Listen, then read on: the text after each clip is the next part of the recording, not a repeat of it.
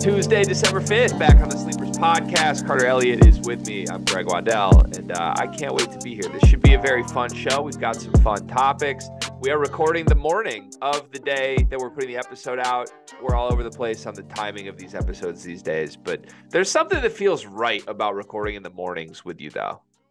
Yeah, it's it, it does feel somewhat right. Also, just a get it done podcast. You know, if we got to record late at night, we'll do it. If we got to fire it up at 7 a.m., we'll fire it up at 7:15. If we got to do it a little bit later, we'll do it a little bit later. We're we're a get it done, never ever forget blue collar podcasts. Never never let that get lost in translation.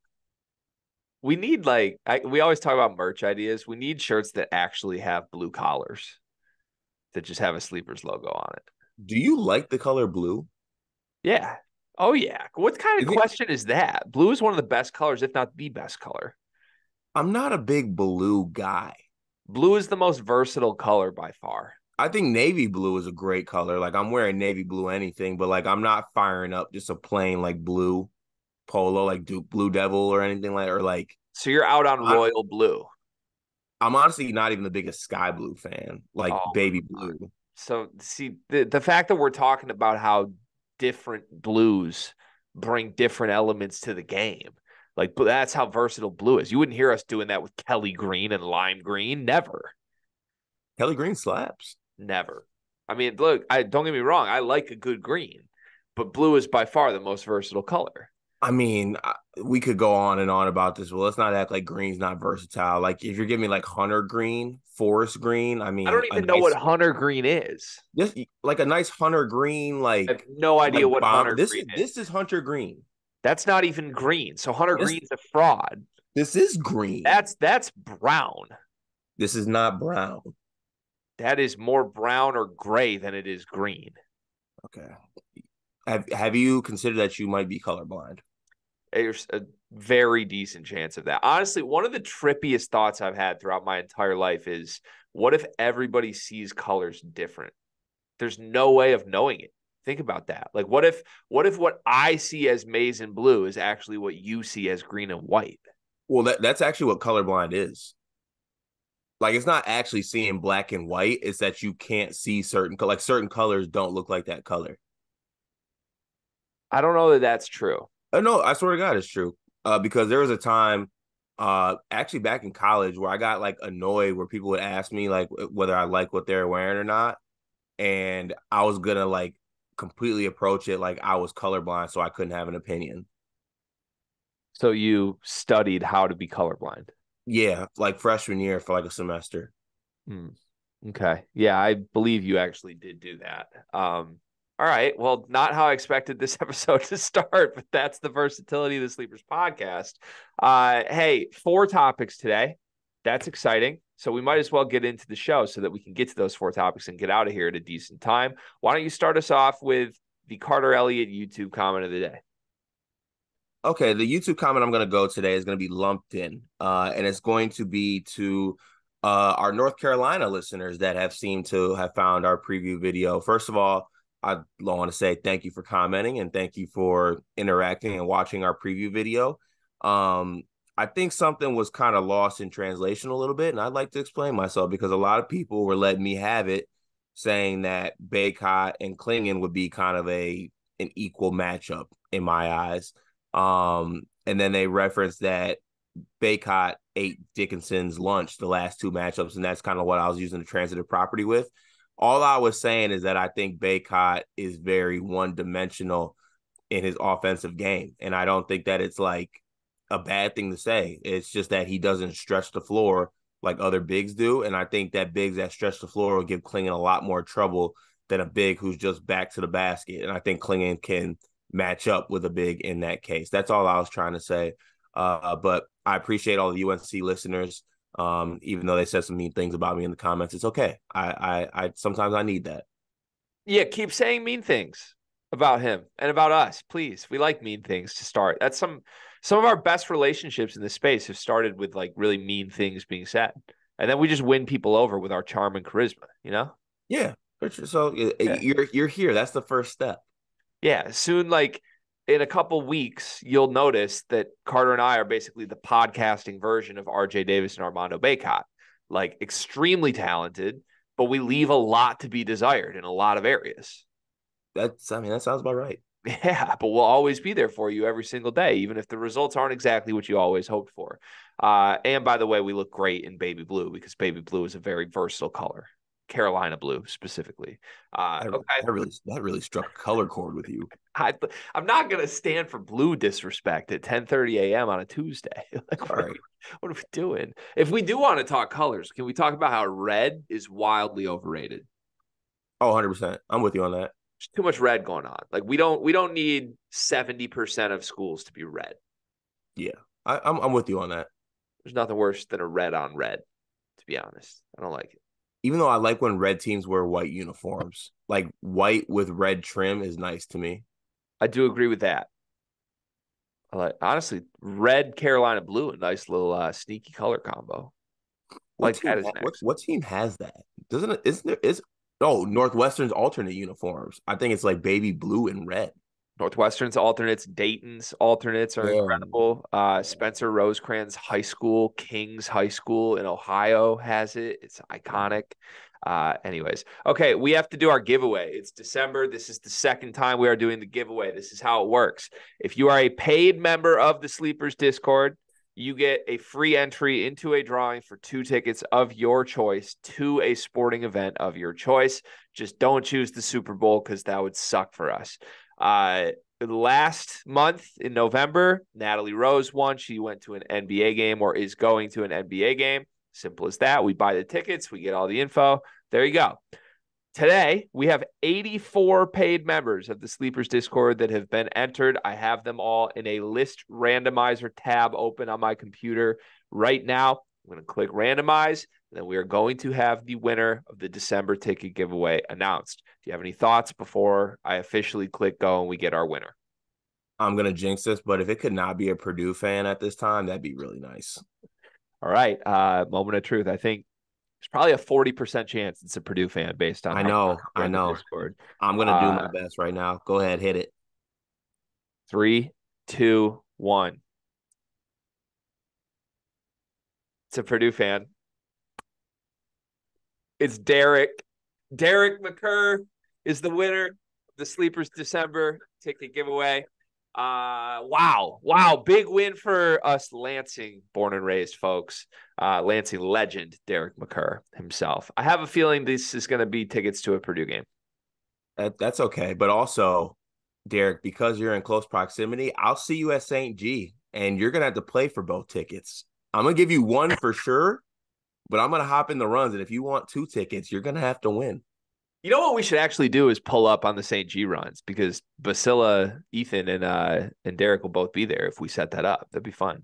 That'd be hella, hella fun. I'd do it at this point. Okay, yeah, let's set it up. Uh congrats, Derek. Also, if Derek's smart, he chooses tickets to Purdue at Indiana at Assembly Hall and has the time of his life and goes in and wreaks havoc on Hoosier fans. That's what I would do. Yeah, very true. But, but congrats, Derek. Yeah, feel free to not choose that though. Feel free to choose like a thirty dollar game instead of that. Oh, oh you, oh, you, can, you, you can choose that game, but you'll be watching from behind Isiah Thomas's jersey. Uh okay, Derek, we'll uh we'll get your info. We'll make sure you get the tickets lined up, my friend. Congratulations and thank you very much for your support. Thank you to everybody who was just uh in the randomizer ticket giveaway. We will do this once a month at the beginning of every month, going forward every month until this Discord finally burns itself down, which could happen any given day because uh like every night right now at 1 a.m. we have Discord infighting going on. So, oh yeah, the the volatility of the Discord is uh always at an all time high, which is what makes it good, but also makes it scary. Yeah, it's special. That's how I like to think of it. Uh, and now, before we do the rest of the comments from the Discord, I would like you to just address what happened at your men's league last night. There was supposedly an incident in the playoffs. Yeah, um, I probably with like six minutes left in the semis. I got called for a technical, a well deserved technical at this point. It was one of those ones where I think my team needed a spark and I didn't I didn't feel the energy. So I picked up I picked up a classic tech, you know, looking at the ref, what you know what where's my call? He tees me up. I'm walking away um and all of a sudden i hear a whistle again and he i turn around and he hits me with the you're out of here. That's two technicals. And i was like what are you talking about? Um and he's like you got one earlier in the game I'm like no i didn't that wasn't me um i know like i'm most likely to get a technical out here but i didn't get one earlier in the game and then after i said that he goes oh no that's a double tech you're out of here and then I proceeded to be like, all right, if it's a double tech, then I'm to get my money's worth of my second tech that I'm getting thrown out. And I let him have it. Uh, I threw my jersey off and I said some choice words, and um, I was ejected from the game. What were those choice words? Can we do a little role play situation? Can I be the official here? Uh, I said you're you're sensitive as beep. You need to tighten up. This beep is not that serious. Um, what the beep are you looking at? I mean, there's a there's a lot in there. I took everyone out of the book. Nothing super personal. Like you didn't go the personal route. No, like families preyed on or anything like that. No, I did say he's a sorry beep excuse for a ref. Okay. All right. Uh this this was a men's league playoff game. Yeah, semis. Actually, great run by me. Um, as you know, I was all over the place like the last couple months, so I missed a lot of Monday games we were the eighth seed. Um, upset the number one seed in the first game. Hold on, out of how many teams? Eight seed out of how many teams? Uh, sixteen. Okay. you thought we were the worst team in the league? you were gonna hit me with we were eighth out of eight. That's no, no. There was like sixteen teams in the league. Okay, all right, got it. Yeah, A seed uh upset the number one overall seed, undefeated on the season, first game. Um, went dumb, beat the next beat like the third seed or something like I don't know who we beat the next team, but uh ended up losing to another pretty good team in the last game. Um really struggled cramping up because they do back to back games for the quarters and the semis, and I'm just not made to do back to back right now. Coming coming off the coming off the illness. Was that the game you got the tech in? The the one you lost? Yeah. Okay. I uh, I just spat all over the place. I just laughed that you referred to cramps being what was the downfall of your men's league team this session. Uh, yeah, I mean, no, I feel like that's no better uh, summary of who Carter Elliott is as a basketball player these days. Like you had what, like 27, 7, and 6 in the upset win in the first round to mm-hmm. carry the team. And then uh, also in a flu game, by the way, mind you, you came in like very sick, very dehydrated. Then you come back uh, and get a double tech and get thrown out and kill your team season. Yep. So, oh, wait, hold on. Gee, really, really quickly here. They uploaded film. I want to see if you can get audio here. Oh, no. Can you hear this? I can't hear anything.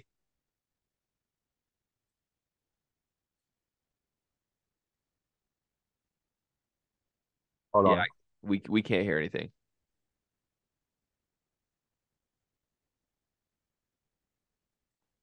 Oh, here we go. as fuck, man. Get any of that? I got none of that. No. okay, well, I will I will I'll clip that and I'll send it to you. Okay, yeah. Yeah, let's get that out on the uh you know, the the sleepers Twitter channel. I'll send whatever. it to the Discord. I don't know if the language is okay enough for for Twitter. Ah, understood. Okay. All right. Well, I'm glad you were playing well, my friend. Uh, thanks for the entertainment value, of course. And sorry to hear that uh, you got a double technical that resulted in your team losing as a 30 year old man. It is what it is, man. Sometimes what? you gotta stand. Sometimes At you gotta stand. Sometimes you gotta stand on business. At what age are you gonna stop getting technicals in men's league? I would when Stripe stopped making it personal. Are you still going to be playing men's league at 40? And uh probably not to be honest with you. That that sounds like a little bit too much. Okay. So you got what like a 5-year shelf life left? I'm probably once I have a kid, whenever that is, I'm probably done playing men's league. Okay. All right. So wait, no, that's not true. That's not true. I'm giving it one more run because like I want like that Fred VanVleet when he had his kid and made the run to like I want to see what dad me is like on the hoop court. I'll give that like two to three years and then I'll probably retire. I need to see you with dad strength for sure. And I would like to think that you do not get double technicals that result in your team losing in the playoffs once you're a father. I think I like to think that it would change you a little bit. Uh, do you show me any respect for the fact that I made sure there was like no children or anything in the gym like before I went off? Did you really? Yeah, I did. I I noticed my surroundings because sometimes guys bring their kids to the game and like they're near the bench or bring like their wives or something like that. There really wasn't anybody in the gym, and that that did prompt me to make more of a scene. That makes me give you less respect because that means this entire move was premeditated. So you you chose to get thrown out of a men's league game that your team needed you in. Uh, we were. I mean, it was over at that point. I think. Okay, so then you're just making a scene for the drama. I'm making a scene because stripes can't get away with anything, and I feel like they have a whistle and stripes on their body. They feel like they can get away with anything. It seems like they did get away with it, though. You seem like the only loser in this situation. Exactly, and that's why I'll be back, standing on business. All right. Uh, hey, one more announcement, then we'll do comments from the Discord. Uh, because people in our community were so kind to us and supported us the last time that we were on a Bleacher Report stream. We have new Bleacher Report streams to announce. In fact, we have two of them coming later this week. We're going to be in the Bleacher Report app on Thursday, December 7th at 11 a.m. Doing a room on our Power Five conference predictions. We're going to be back the next day, Friday, December 8th at noon, debating who are the actual CBB Blue Bloods. That should be fascinating with a Michigan State fan on the panel. Uh, and then we'll be back a week before Christmas, December 19th, also at noon, doing some pro player draft comps for top college basketball players. We'll see. Maybe we could even get Andy Katz to join that Bleacher Report room. We know he's a BR guy, so I'd love to hear some of his NBA player comps. But uh, yeah, we're back. Thank you to the people that supported. Show more love.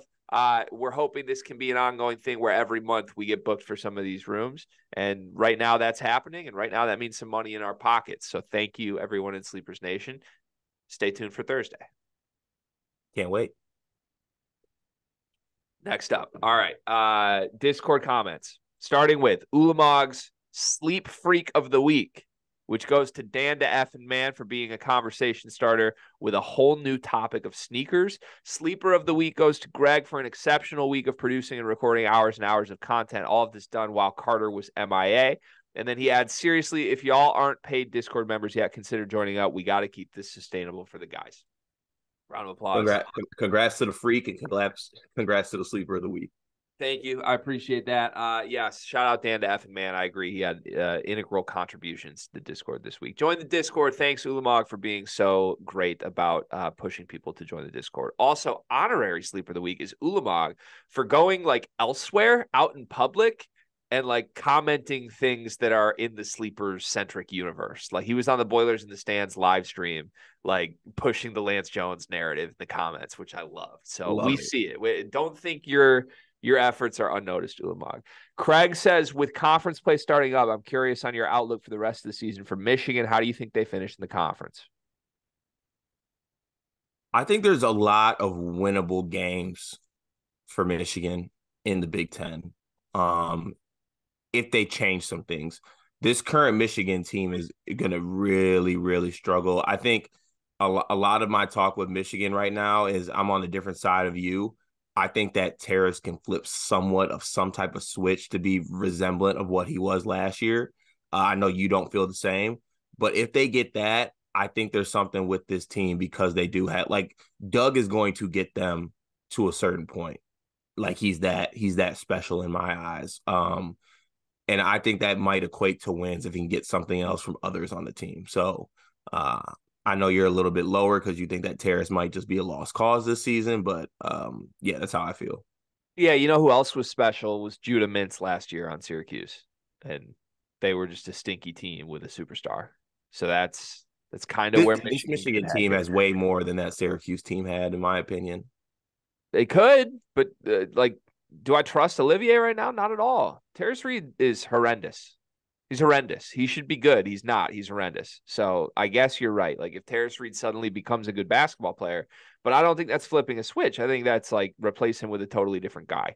Um, I don't I like Are are you approaching like Cheddar over Tarris minutes? No, because Cheddar's the worst rebounder in the country. If Cheddar Okay. could if Cheddar could rebound, yes. Like every, everything else on a basketball court, Cheddar is better at than Tarris Reed.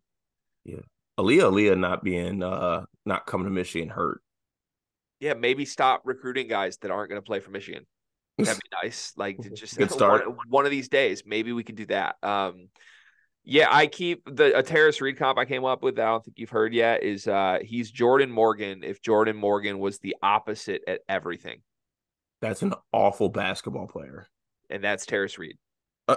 like that's Jordan Morgan had like nothing except for like he could finish dunks and he was always in the right spot and he was smart as hell. And Tarris Reed is like he has everything, but he's never in the right spot and he can't finish anything. like that's I just don't know what you do with that. If that's your uh, you need 30 minutes from that guy at center. We'll know more about Michigan after tonight. Watch the Indiana preview and uh, stay tuned for the recap after the show. Travis Nelson says games like Michigan, Alabama are where sports are the best.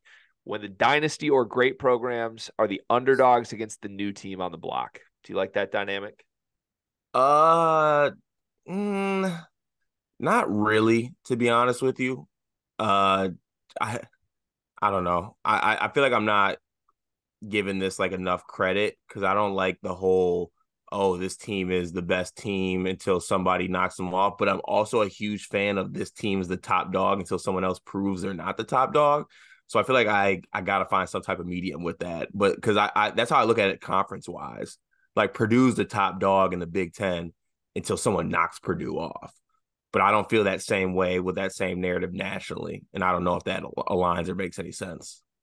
Yeah, I think I would have liked it more if like I don't know if it was like Michigan, Georgia, honestly, just from like a viewing standpoint. Like if you want Michigan to win, you are happy it's Bama, not Georgia. But I don't know. I just I, I don't love pretending that Alabama is like some dynasty right now. I don't think this football team's that good. And they very well might beat Michigan. I already have placed an Alabama money line bet to beat Michigan, but like that a large part of that is because I think Michigan's entire program is acting like Alabama's to some unbeatable freight train when like they're not. this Alabama team has not been very good at many different times this season. So Okay. Can I push back really quick on the Alabama thing? yeah, like you like you saying they're not very good. Like you're saying they had the close half. They had obviously the fourth down thing against Auburn, but like 12 and 1, undefeated in the SEC, won the SEC championship, gave Georgia the most dominant team in college football, its first loss in 30 games, has the most ranked wins this season of any team in college football. Like that's a that's a really good football team. no, it's a gr- it's a great football team.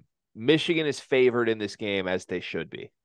Okay, yeah. Okay, I'm, And- with- I'm I'm with that. Nobody's act like that. Michigan themselves isn't even acting like they should be favored in this game, which is which is which is hilarious too by the way like there's it's like the the the the first number one team in the country who's the, the who's the, who wants to be the spunky underdog Yeah, it no, it's ridiculous to me, and it's I I don't know. I I just don't like the vibes of it. But you're right. Alabama's a very good football team. Don't I'm not taking anything away. Just they're not Georgia. Like they, this, you got you got a gift that you don't have to play Georgia, that they're out of the playoff, and now you're playing Alabama.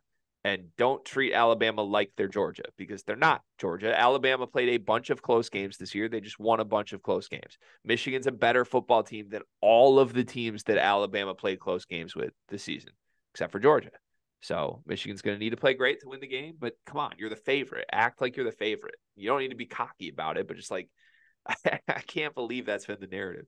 Uh, Zach Wilson's Blicky, great, great username, has a fun one. He wants to hear us build the most fun conference. Just create a conference that you think would be the most exciting or dominant, or just produce classics every night, uh, or just any kind of conference, all offense, all defense, etc. hmm i'm gonna once again dip into my soccer uh acumen here really quickly uh you're familiar with the champions league of course you're a, you're you're a a, fo- a football fan I'm a Champions League champion. yeah, I would love somewhat of a Champions League thing to create a super to create a conference, another conference on a year to year basis. Like keep everything the same with the national tournament. Don't actually have a Champions League tournament, but I would love for like the top two teams in every conference to be the champions conference the next season. I think that'd be fun. So specific to basketball only though, right? Because that's kind of the hurdle in all of the fun conference building. Yeah, yeah. Like, I'm I'm I'm I'm talking strictly basketball. Yeah, I I kind of do wish there was a system where like teams could be in different conferences for different sports. Um, which like Notre Dame is essentially the model for that, right? Independent for football, ACC yeah. for basketball. And I, I you know, I don't want to like uh hate on any of like our MAC uh fan listeners out there, but like if we had relegation systems, like if you're in Power Five conference and you finish bottom two, like you got to go to the NEC. Yeah, I just uh, again like like is Michigan State football in the MAC now? After yeah, like after we're we're yeah, like we are firing up for the Southern Illinois Redbirds or whatever they are. But then basketball still here. Yeah, See, I that that gets so messy to me. I don't know how to. You want to do it the same, like the basketball teams invested in the last football game against Indiana because we we got we don't want to play in the MAC. I would kind of love that. I really would. I don't know. Um, I, I'm just gonna approach this question just from like a build the basketball conference perspective, and uh, I'm gonna run through teams I would like to see in my dream conference. I would like Purdue in that conference. I would like UConn in that conference. I would like Arizona in that conference.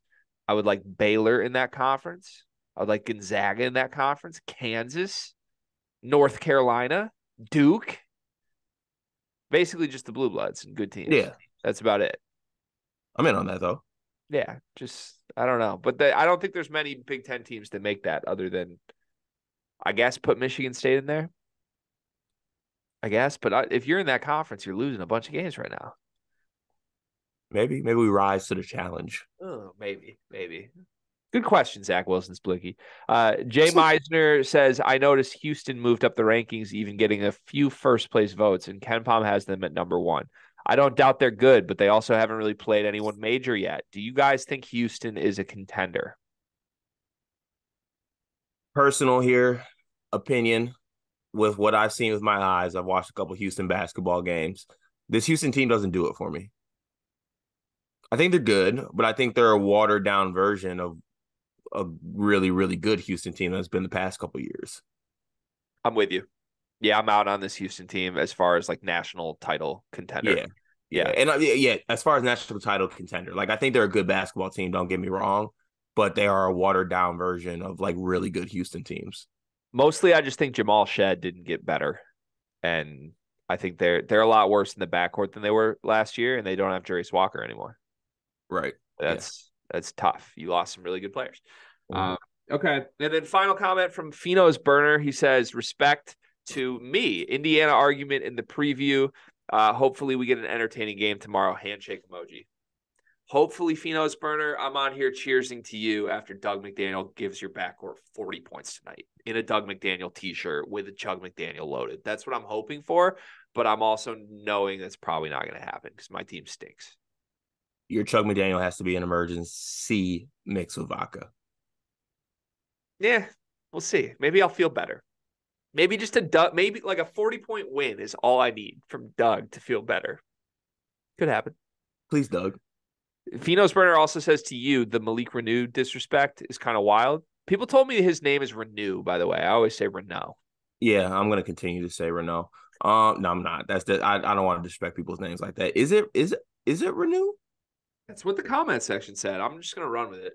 Okay, all right, I'll go with that too. I, I actually funny, I haven't watched an Indiana game with sound this year. I don't know how people want to take I don't know how people want to take that. But um I, I I didn't know I disrespected him. I like him a lot. I'm I think I'm probably higher on anybody in the country than uh, on Malik uh, Reneau. But uh, I just I don't like the fit. Mm, okay. All right, noted.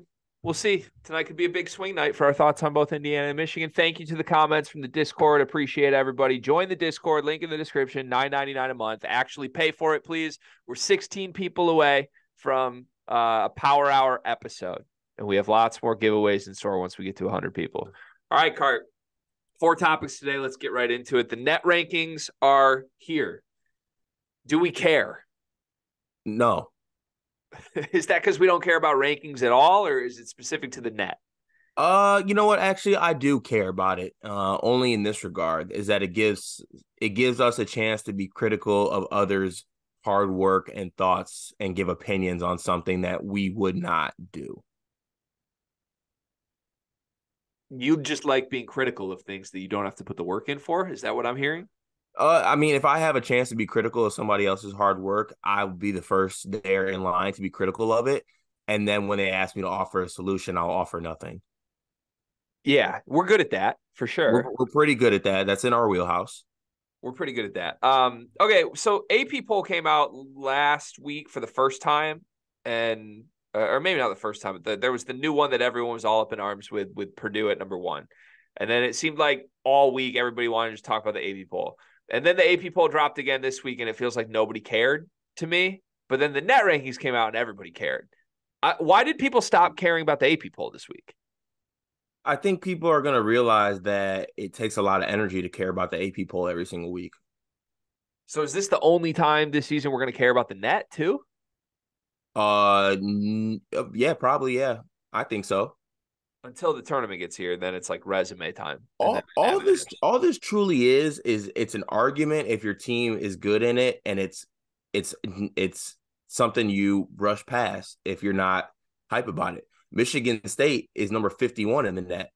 I'm not gonna I'm not gonna reference anything about net rankings. I'm not because they're number 51. If they were number seven, you would see my Twitter bio with the laughing emoji and the point emoji all over talking about don't speak to me if your team isn't top 10 in net. I was unaware that Michigan State was 51st in the net. Uh, that's one spot below Villanova, one spot ahead of UIC, which is Illinois Chicago. I love the net. I could not be more. Where, where's Michigan in the net? I I don't know. I don't know. My eyes have been bad lately, so I don't know. Okay, um, mine are fine. I'll let you know in a second. Okay, thanks. Uh, some interesting just team spots here. Michigan State 51, Kentucky's 45. Uh, James Madison is 35. And like Kansas is 15th. How is Kansas 15th? I, I I really don't get the net rankings to be honest with you. It's just quad wins, right? But like yeah, but at the, I yeah, I get that, but so like I mean South Carolina is like top 20 in the net. I think Kansas is getting dinged because they've played a bunch of quad four games. But like Kansas has played some of the best teams in the country. That's why I'm confused why they're all the way at 15. You know? Yeah, I'm wondering like how it's actually weighted. Like, aren't shouldn't the quad one wins carry more weight than a quad four win? Like, is is I I need to know what the actual algorithm for this is. I kind of like not knowing the algorithm. I kind of like the mystique around it. Uh Houston. Uh, Greg, oh, go wait, ahead. You have Greg, you have Michigan's number. What are we? One one thirtieth. Eighty nine. Oh, okay. That's not bad. Uh, down there, surrounded by Evansville, Bradley, Harvard, and Duquesne. I mean, and Texas Tech, one spot ahead of us. You could have led with that, but oh, sorry, I missed that. Yeah, uh, ahead of teams like Kansas State, UCLA, Oakland, who just always covers every single game. Yeah, I feel I feel all right. Wow, ahead of ahead of okay, ahead of Arkansas.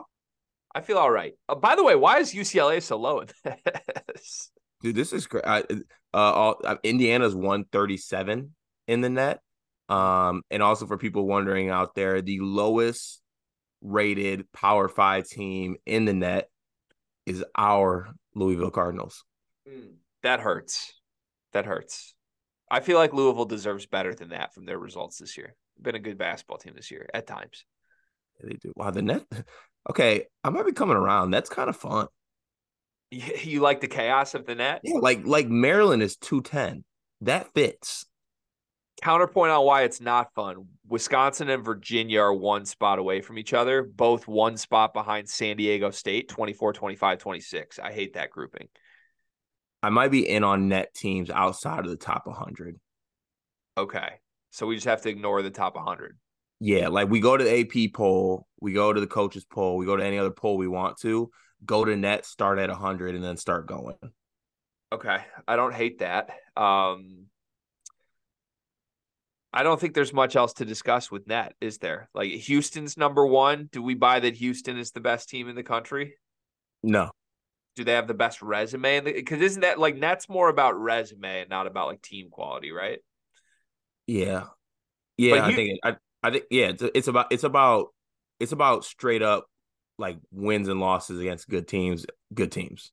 But Houston is now number one in KenPom and the net rankings. Are they number one in KenPom too? They are. Man. Yeah, I honestly I did not realize that Houston already had three quad one wins. I mean, that is pretty impressive. Who's the best team they beat though? Like they played uh impressive? wasn't the best team they played Xavier? Wasn't that, that their best win at home? And they play, wait at Xavier, I think was their best win. Xavier at Xavier, yeah, it's a tough game, they survived. Uh, Utah on a neutral, and then I guess Dayton on a neutral is a quad one. They oh Dayton on a neutral is a quad one. That feels like it should be quad two. Yeah, I want our own quad system. Can we? I've been joking about this for like a year now, but I really want like a sleepalytics page somewhere where like it, instead of I don't know, like adjusted offensive efficiency and PORPAG and random shit like that. Like we just have like dog in them as a column, and yeah, nobody like, can understand what the the formula is. Like instead of PER rankings or like BPR, shout out Evan Miya, it's just him. Yeah, I, I want that. And I think we could easily do that. And I think I could give someone an actual formula to calculate that if they want. We just wouldn't tell anybody what it is. So if any web developers out there are interested in helping us with sleepalytics, let us know.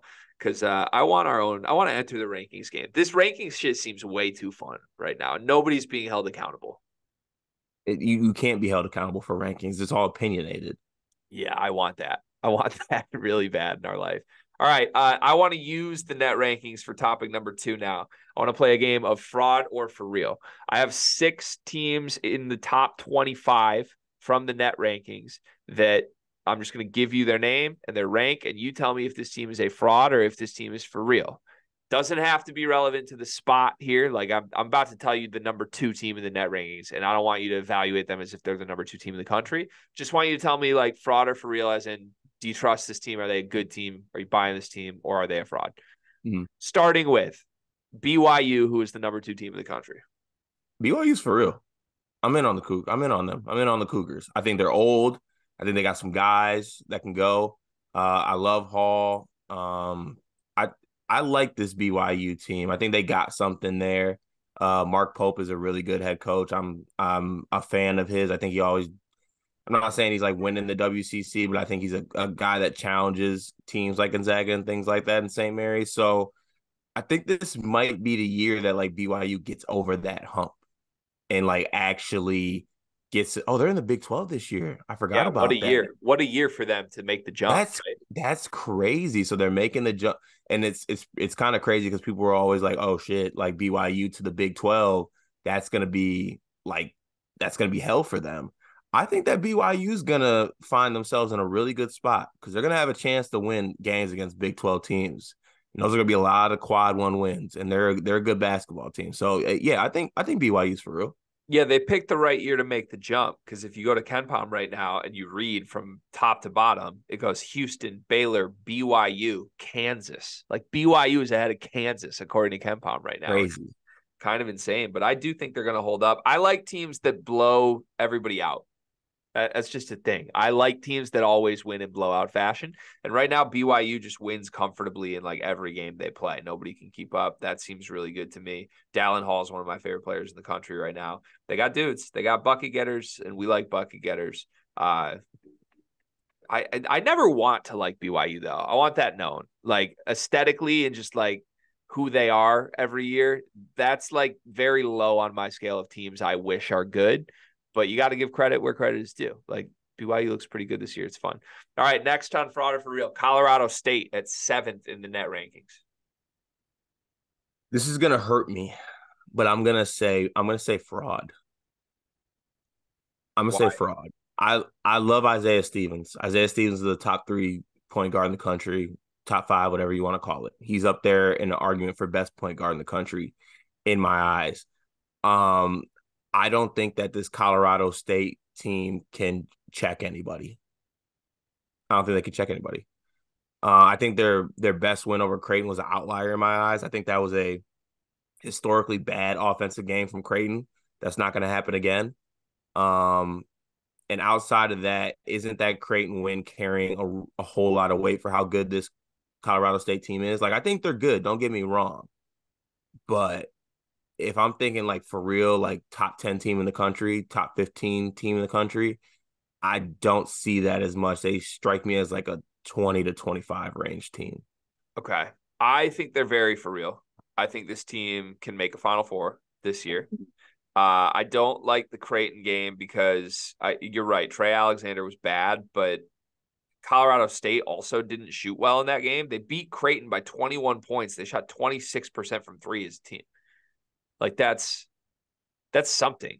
Like it wasn't just like Colorado State was hot and Creighton wasn't. They were just 21 points bad on a bad shooting night. Like I I'm in. I think Isaiah Stevens is arguably the best point guard in the country. When you have the best point guard in the country, you're going to win games and you matter. And I don't care what else is around you. Um, and honestly, I was impressed. Like, it's not just Creighton. Like, okay, yeah, they beat Creighton, they beat Colorado, they beat Washington back to back. They now have five wins against the KenPom Top 100 through eight games. Uh, Colorado's good, and I thought Colorado State was the better team. Washington, I get is Washington, and we want to make jokes. I think this Washington team's better than we want to admit. Like the fact that Washington and San Diego State was in a really close game, like I I buy that. San Diego State's a good basketball team with a National Player of the Year candidate right now. So I, to me, this was a game like Colorado State was trailing early and easily could have lost, and instead they ripped the game back away because that's what good teams do. So I'm in on the Rams. I think they're really good. I'm not going to sell this team really ever um, this season. I don't think. Next on fraud or for real, Princeton at number nine. Uh, frauds. Is there anything like that catches your attention with Princeton at all? No, not at all. They're eight zero. Oh. Not not to me, not personally. No, I think they're good. Don't get me wrong, but like, uh, I guess we didn't really put the for real like ranking scale. Like when you say for real, like are we talking like elite eight type team? Like what are we talking for real? You can define it however you want. Just like is it okay. a team that's worth your time and attention or not? I think that Princeton's a team that could win a game in the in the in the NCAA tournament. Obviously, uh, shit, they won a game last year as a 15 seed. Oh, shit, they won two games last year as a 15 seed. Um, I do think that wasn't a fluke as far as how their team plays. They play a really good style of basketball, but I I'm just like not overly impressed, I guess, with this Princeton team. Like they're not popping off the page to me like a team that should be taken seriously as like a elite eight level type team or something like that. Um, okay. Yeah, I'm just gonna say fraud. I'll keep it at that. I don't. I like. I don't think they're gonna be more notable than they are right now. So let's move on. Uh, Iowa State fraud or for real? They're 12th in the net rankings. Uh, fraud. Am I saying everyone's a fraud? I don't feel that way. I, this might have my feelings of net ranking, but um, I just don't think that this Iowa State team has any guys to me. Like I think they have some really good. They have some. They have a lot of pieces in my eyes. Like Lipsey's a good piece. Don't want to butcher his last name on this with the freshman. I think it's uh, Mahalovic, maybe. Don't want to butcher that, but uh, actually a, a Michigan State recruit. We were in his final six, I believe. Felt good about it. Shout out Michigan. But I think they have a lot of pieces, but they don't really have a guy to get behind and like be be that be that guy that closes games or things like that. They play extremely hard. They play good defense. They're obviously Iowa State. Coach uh, Otzelberger, you know, has has a certain way of playing. I think he does that style very well. But I'm just like not buying this this Iowa State team. Um, the the five star freshman Omaha Biliew has not been effective at all, and I think that lowers their ceiling a lot too. So yeah, I'm I'm I'm not in on this Iowa State team. I would say fraud. Uh, yeah, yeah. I think the I was very ready to say that for real after the first half against Texas A&M where they were just smoking them and I think Lipsey's really good but I don't like anything else they have and the fact that they blew that game makes me very skeptical. I also feel like in general um this is now like an Otzelberger thing. Like if you go back the last two years, they were undefeated through December 21st in 2022. They were 13 and 2 through January 10th last season, and then the wheels fell off. This year they're 6 and 2. I think they're going to lose a bunch of games in Big 12 play, and they're just a good non conference team under Otts based on the way he schedules. That they right. play they play the softest non-conference schedule of all time. Yeah, it's crazy. Which is honestly like I don't know. They say like you're oh you're supposed to schedule schedule well for net ranks, right? Like that's how how is Iowa State good in the net with the schedule they've played? They haven't beaten anybody. They haven't beaten a top 100 team yet this season. Yeah, it's weird. I don't get it. Uh, all right, two more quick ones. Cincinnati at 13, fraud or for real? Ooh, I'm gonna just quickly. I'm gonna say for real. I still like. I like Wes Miller. I like the pieces on this team. Aziz, uh, Simone, and like I. I like the Cincinnati team. I think they got guys. So you have Cincinnati for real and Colorado State fraud. Yeah, but also that that goes back to what I said in the preseason. I kind of stake my claim with Cincinnati. I it's something about them I can't shake that team. Like every time I watch them, it's I, it's something about them. Yeah. Okay. I'm gonna go fraud. Uh, just I, I like the pieces. I like C.J. Frederick. I like Simas Lukosius. Uh, I like Day Day Thomas. I like Jizzle James. Don't think they're actually a good basketball team. I think it's the opposite of BYU, where they're going to get to Big 12 play and like big adjustment period. Co- Colorado State's for real, by the way, too. I need oh, to, so we're changing I, that. Okay. Yeah, I yeah that that's unacceptable. That's on me. Final one. The really the reason I wanted to do this segment with you was just building up to this. The Aztecs, San Diego State, they are 24th in the net. You've long been a San Diego State hater. Fraud or for real? I'm going to say for real because oh! they have yeah because because I have to because they have a National Player of the Year candidate. He's so good. He's he's insane. He is insane. The breakout everyone was talking about for seven years now, or a decade, it feels like, is finally upon us. Is he a top five player in the country to you? Yeah. And by he, we're obviously talking about Jaedon LeDee. Yes. Is he a top three player in the country to you?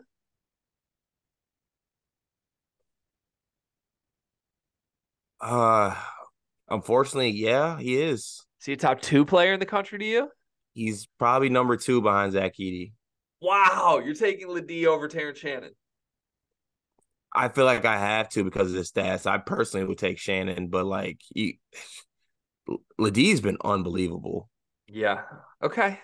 I just I I was shocked. You're really giving in on this more than I thought you would. It's impressive stuff. He's good. I mean, they're for real. I yeah. I don't have any other thoughts. San Diego State's really good. Uh, I mentioned it when I was talking through Washington and why I like Colorado State's win there. Like I think San Diego State's really good. Uh, I think they're going to be a serious Final Four threat again this season. And this pains me to say, but uh, one of the reasons we liked Creighton so much in the offseason as a title pick was like revenge, get back there.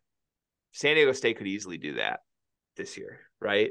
Like Let's they were right not. there. They were right there. They could get back. We'll see. All right. Thanks, net rankings. That was a nice little fraud for real segment. Um, this should be an interesting topic, but we're going to go back to this because we've done Purdue previews and recaps in the last two days where we did not mention this. And I think this is compelling enough to have a real conversation about. So after Painter's, um, I, I don't know if this was the loss or if this was just after their win against Iowa. I, I think it was after the win against Iowa. Okay. So there was basically a press conference where Painter took to the podium and was asked, What have you seen from um like after the loss to Northwestern? What have you seen? And I actually want to try and pull up the audio on this so that we can run it uh, because it was really interesting. I don't have it ready, so I need to find it. I was gonna. Do you have? I was gonna scroll up to it. I have it now. Here we go. All right. This is Matt Painter talking. Uh, I'm just gonna I'm gonna play it. This is Matt Painter. Like it's really stupid for us. like this is it's plagued us, but it's plagued. So when people say like, "Oh, they just lose the kind of the same way," it's it's really stupid, and you don't understand basketball if you say that. Like it's really stupid. Um, because it's just such an un, coming from such an untrained eye, you know, because the other team is trying to turn you over. Like everybody has an issue with turnovers. Every team has an issue with turnovers in some game this year. So when you play eight games and like you have a couple games, like whatever, like you're 80%, you're 75%, whatever it might be, is you've taken care of the basketball. But you're going to have a game in there where you don't. You just don't want it to be when it matters the most.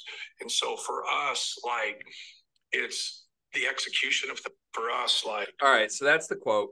Um, little choppy there on how I rolled that out. Bear with me.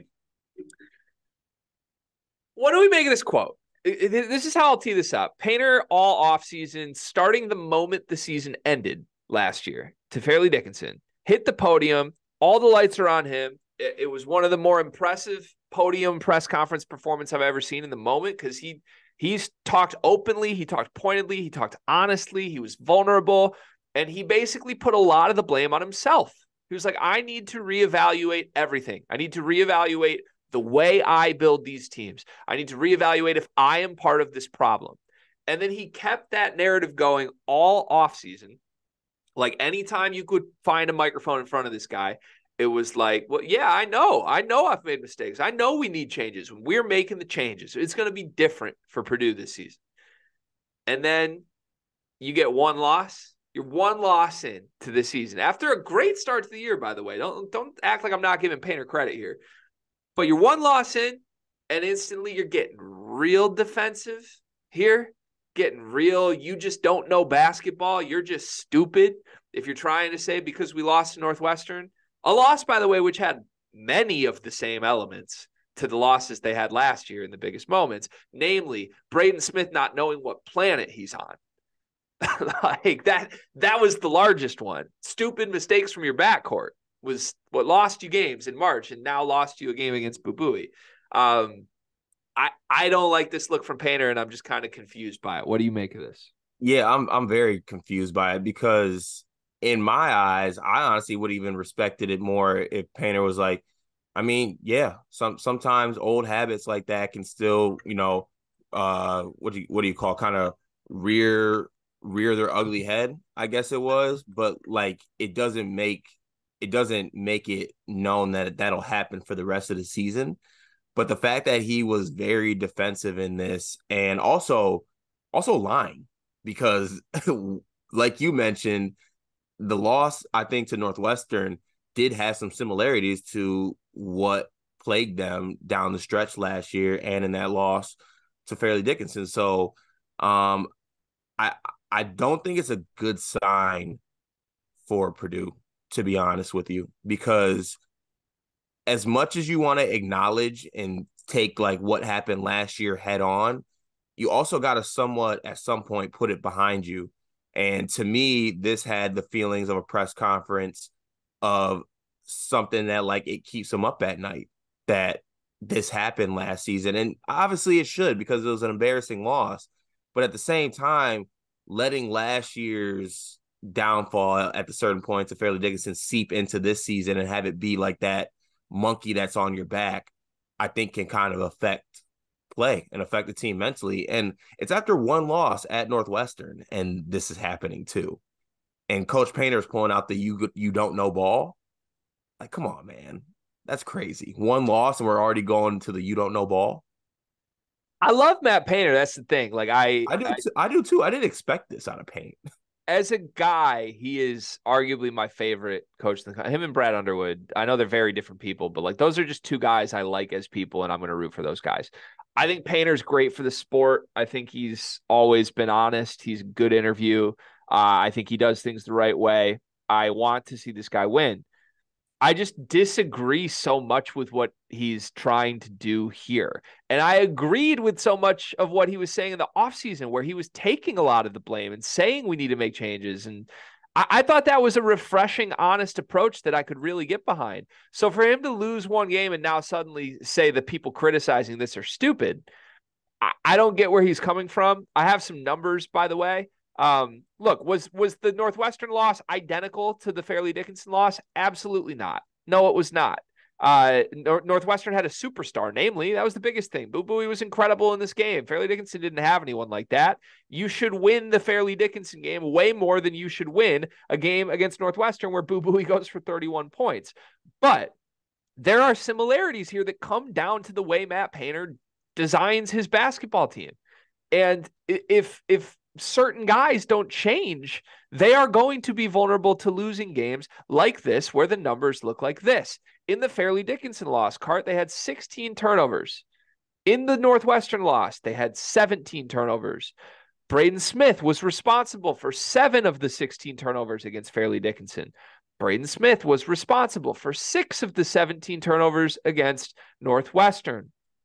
As a team, from three in the Fairleigh Dickinson game, Purdue made five three pointers on 26 attempts against Northwestern. Purdue made five three pointers on 19 attempts. And the biggest thing, everybody left the Fairleigh Dickinson game being like, guys won't shoot from three. Every everybody curled up into a ball and was afraid to shoot. They shot less three pointers in the game against Northwestern than they did in the Fairleigh Dickinson game. Made the same amount. So I don't know how you can have those things be true. You lost a game where your backcourt imploded, where the moment got too big, where uh, in various ways. Last year it was guys afraid to shoot, guys a little hesitant, Braden trying to do too much. Against Northwestern, Braden Smith and Lance Jones both tried to do too much. And both were disasters down the stretch. Lance Jones fouls out needlessly. Braden Smith flipping the ball into the third row or straight to a Northwestern breakaway. Like that is a consistent theme and it's not stupid for people to point that out. And i i've just never viewed matt painter as a guy who gets defensive and that's what i saw here in this press conference was for the first time in his career he is being super defensive and i don't love that from him. I think the vibes are weird. And you, you know what you know what that means when you get defensive? It means you're on edge. And i don't think and i don't think it, it mean i don't think it I don't think that it does any good for Purdue as a team to be that on edge. Because a team that plays on edge is a team that, oh shit, in the last four minutes of a game, flashbacks. I don't want to make the same mistakes as last year, overthinking things. That is a very real option that could happen when teams are on edge. And like I said, you don't want to forget what happened. You do want to use as a motivator everyone in Purdue circles talks about how this team recognizes and acknowledges what happened last year and uses it as a motivating factor to be great this season. But there is a negative side to that if you can't let it go at a certain point. And it causes teams to be on edge or players to play on edge or coaches to be on edge. That can seep into a program. So it's it's very interesting to me and something I'm going to keep my eye on uh, and say what you want. I know people are like, "Oh shit, you're just gonna keep your eye on this because of one post game press conference." I mean, yeah, I am because I I think that this has the signs of a team that is defensive and on edge. Well, that's the other thing is like he's trying to make the point on turnovers. That's like turnovers happen. Like teams turn the ball over in some games. Like the every team is going to try and force us into turnovers. The problem with those statements are that in my opinion, Braden Smith's turnovers in this game were pretty unforced. Like it wasn't something that Northwestern was doing to cause Braden Smith into those issues. This was Braden Smith picking the wrong time to try to throw a behind the head no look pass. And that is the same thing. He got wound up. He was just, he lost his brain. And Braden Smith is one of the smartest players in the country. But at the end of last season, in the biggest moments, he was not. He, he you couldn't trust him, and that came back for the only time we've seen it this season. It came back against Northwestern. And if Painter wants to sit at a podium and tell us that's not something to worry about, there's no similarities there. I just strongly disagree with that. And maybe he's doing it to protect Braden. Maybe he's doing it to protect his team. But uh, it just it was very out of I don't want to say character. That's something we've never seen Painter do before. We haven't seen Matt Painter get defensive like this.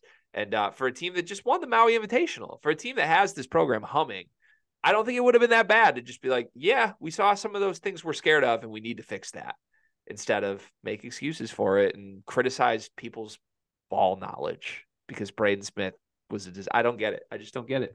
All right. Um I'm I'm curious to see what Purdue fans are to think of that segment. We'll see. Last topic today. Uh, you wanted to do a Final Four rehash. Like, ha- have things changed? Who are our Final Four teams? I put a quick spin on this. I just want to know who's your updated pick for national champion before the season. You and I both had Creighton. My pick is going to change. I'll spoil that right now. And uh, I think the interesting thing is here. There's a lot of teams I would feel good saying, "Oh, this is a Final Four team." There isn't one team in the country right now that I feel good saying that's a national championship team. I'm curious if you feel the same. Uh, so I am changing my pick from Creighton. Um, and there is a team that I feel good about being a national champion, and it is the Arizona Wildcats. I feel good about that team being a national championship. I think they have all the makings of it. You go one through five on the roster. I think they got it. I think Tommy Lloyd's a, a amazing coach. I just I think they got a recipe for to be a national champion this year, and I'm and I feel like confident in saying that. Okay. I don't dislike that pick at all. I think Arizona is the best team in the country right now. Uh, here's why I did not go with Arizona for my pick. They really almost let Michigan State back in the game. Yeah, good, good, good defensive team by Michigan State. Yeah, but like, so we're we're saying the team that should be the national champion favorite, runaway. That's that's the team is gonna just like bend because AJ Hoggard shows up. I mean, that's... still still won the game and covered. Okay. I just that's a little like hairy for me. It's like Arizona looks so great. No, AJ Hoggard kind of ripped the game away from them. I don't think whoever's gonna win the national championship, I don't think is letting AJ Hoggard rip the game. that's that's the barometer. No national champion in years is letting letting that happen. I just I just don't see it. And I look, I I fell for Arizona last year. That was my title pick. Uh I still believe in Tommy Lloyd in a big way. I still think there's some stuff here I'm skeptical of at the end of the season that isn't there in the non-conference. So, um, I, I yeah, I'm going to stay away. I think Arizona's number one right now. They're not my pick to win the title. I'm going with the only team that I can truly close my eyes and say, I I hold like I, I I see it. I can just see this team raising the trophy at the end of the year, and it's UConn. Hey, I like that pick it's UConn. It's Tristan Newton being as good as he is, which is the biggest reason. Like you got to have the better guard in March most games. Tristan Newton is almost always going to be the best guard. But oh, by the way, they're also usually going to have the best center in most games. And I like the surrounding pieces. They got to get Castle back, but Karaban's been awesome. Cam Spencer's not going to be hurt forever and shoot two for 13. Um, I I like this team a lot. And if there's one team I just see, like I said, it's it's UConn. They did it last year. They have the big game stuff. They can do it again. Can I get quickly a sleeper national champion pick out of you? If you had to go a little bit outside the box. Florida Atlantic. Ooh. I like that one. I think I'd go Baylor. I don't hate that either. I really like this Baylor team if they just like go all in on the I got all like if I just go straight classic Scott Drew, I got three dogs at guard, like I'm just gonna go. Like just give yeah. me Ray J. Dennis and give me Ja'Kobe Walter and let's just let's rock. Yeah. I like that. They they might end up the number one team in the country here soon if they just keep performing offensively the way they are. Uh who's the worst team that can win a national championship this year? We did this last year. It's one of my favorite segments to do every year. But who, who's the worst team that could win it all this season? Illinois. Illinois is kind of good though. They are, but I think that'd be the worst team that could win a national championship, or Michigan right. State, some Big Ten team. yeah, or or Michigan. No, no response there. Come on. I mean, Dug. A special Dug McDaniel run, a Dug Kemba like Dug run. Dug can't Kemba for three weeks. Nimari Burnett can't be Neil's Niels Giffey. Okay. Uh, my actual answer is Northwestern for that. By the way. Oh my. God. They they were my answer last year too, but that's my actual answer. Boo's good enough to do it. Budarius is nice. He's good enough to do it. All right, let's wrap the show with one big thing presented by Big B. What's your one big thing today? Uh, my one big thing is I'm going to show my age with this. Um, I think that business cards should still be a thing. Um, I had a like event kind of thing yesterday, just like a meetup at like a coffee spot. Um, and I was having a conversation with like a potential client or whatever. And I went to give him my business card and I was like, Yeah, you can contact me. And like, can I get your information as well? He pulls out his phone and he says, I'm gonna airdrop it to you. And I'm like, airdrop it to me. Like this is so he airdrops like a virtual business card. Uh, I hated that. Absolutely hated that. I want business. I think business cards should be a thing. I want Sleepers Media business cards. Yeah, we do need those definitely. Yeah. Um, I like a good business card. I've also never used a business card the way a business card is intended to be used. What What do you use it for? Like if somebody gives me a business card, I'm throwing it away. okay, what, what like go go back in your tech marketing days? What were you doing with your business cards? Throwing them away. You, you weren't handing them out at all. Like I feel like you were Oh, with just- my business cards, yeah, I would hand. I'm saying when someone gives me a business card, I'm throwing it away. Oh, really? Yeah, but that's Oh. just me. Like Okay. I, I also never truly cared about my business, though. so you know what I mean? Like Yeah. And now that I'm in this business, if like if Rothstein gave me a business card, probably not throwing it away. Um, I don't know. Of course, Rothstein's the one give you a business. I card. just I'm trying to think of who would give me a business card in this industry. Okay, uh, my my one big thing is I wrote our family Christmas card letter yesterday, and I- Hey, let's go! I can't wait. I feel pretty good about it. I'm excited about it. For those that have not received Christmas card letters from me, one, I'm sorry. Two, uh, yeah, it's become a thing. I'm on like year six where I like have to write a letter with the Christmas card, and everybody gets like their own little paragraph. But uh, different formatting this year a little bit because we have the daughter now. So Murphy led uh, led off the letter with the first paragraph. So uh, a lot of pressure on it, a lot of pressure. A little comedic style to this as always, but I feel pretty good about it. I'd give it like a nine out of ten off first read. Let's go! I can't wait. Yeah, I'm excited. I feel good. All right, that's the show today. We'll be back on Wednesday. Thanks everybody for listening. Have a great day.